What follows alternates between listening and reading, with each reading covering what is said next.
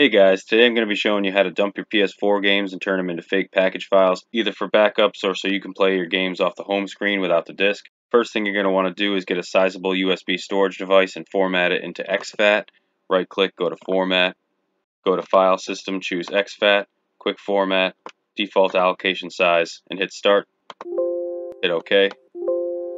Once that's done, head over to your PS4 once you're at your PS4, navigate to the Itemzflow Game Manager. If you don't already have this, I'll have a download link in the description.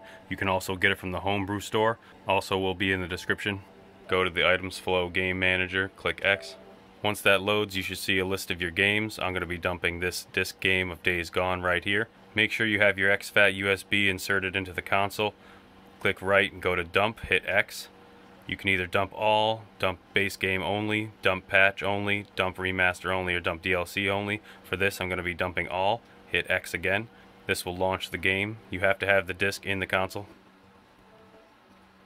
The process should start and complete on its own. Just wait. Sometimes it can get stuck for really large files. Just give it time. For larger games, it usually takes about 30 minutes.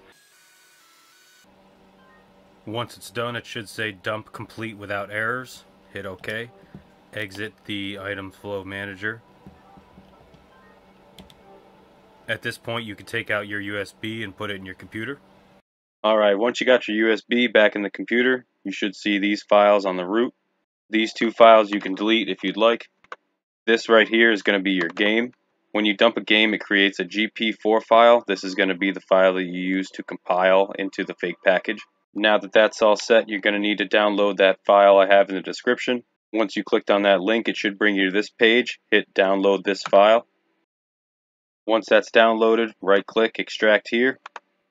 You should see a folder called files. Go into that folder. Here you're going to see PS4 fake package tools. Go into that folder.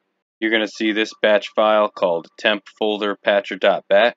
I don't recommend running as administrator. I had issues. Just double click. Now here it's going to ask you to choose a temp folder location for the temporary files. Make sure that the temp folder location is large enough to fit the game. In order to check the file size of the game, go to the USB, right click, hit properties on the game folder. This Days Gone is 42 gigabytes, so for this you'd want to make sure that you have at least 42 gigabytes free on your temp folder location and on the drive that you plan to compile the fake package file onto. It has three options, C drive slash games, D drive slash games, and custom location. In order to check your drive letter, go to this PC. You should see here we got C drive, D drive, E drive, and F drive. We're going to want to put the temp files onto the F drive. I recommend selecting a temp drive that's different from the drive that you plan to compile to. So for this, we're going to want to choose F. So here we're going to click 3 for custom location. For whatever drive you choose, you're going to want to create a folder on the root called Games, right click, New, folder or Control Shift N, name it Games. So for this, for the F drive, we're going to hit F colon backslash games. Hit enter. Once you do that, this window should pop up. Go up to the top left and hit File, hit Open. Navigate to where you have the game file stored. Choose the GP4 file. Right up here at the top right of the window, hit Build, hit Close. Down here you should see output path, hit select, and this is where you're going to select where you want to put your files. I'm going to put mine on the desktop. Again, I don't recommend using the same drive that you selected for your temp folder. Now you're going to want to hit save. On some displays you may have the bottom cut off. For me that is the case. So once you select your output location, hit save and hit tab, then enter, and it should start the process.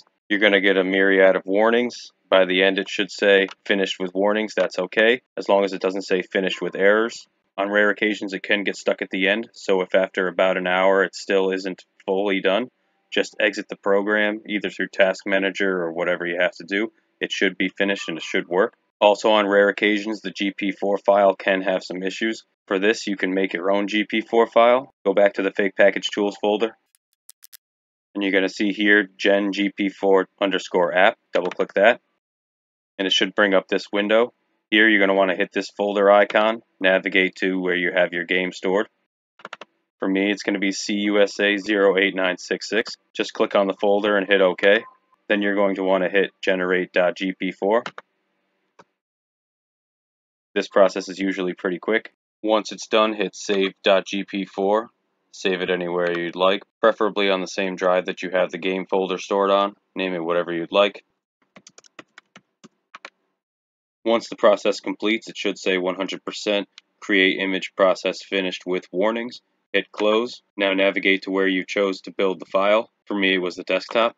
So right here, we got the fake package file, Days Gone, and that should be able to be installed just like any other package file. So let's test it out. I'm going to copy it over to the USB.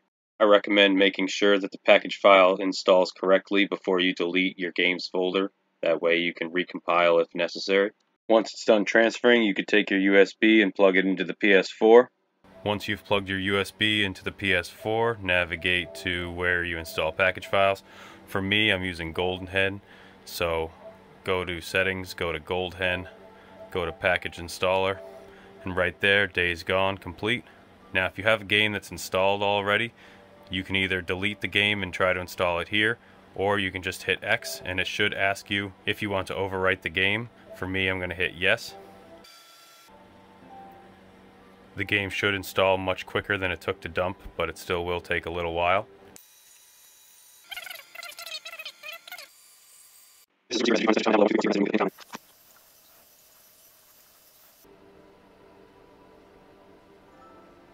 Once the install is complete, it should say ready to use in the top left corner.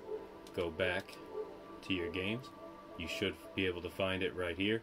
As you can see, there's no longer a disk icon, and I'll take out the disk right now.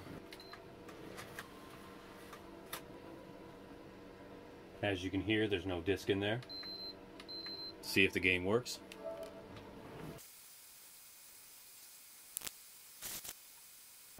Alright, it looks like the game is working just fine.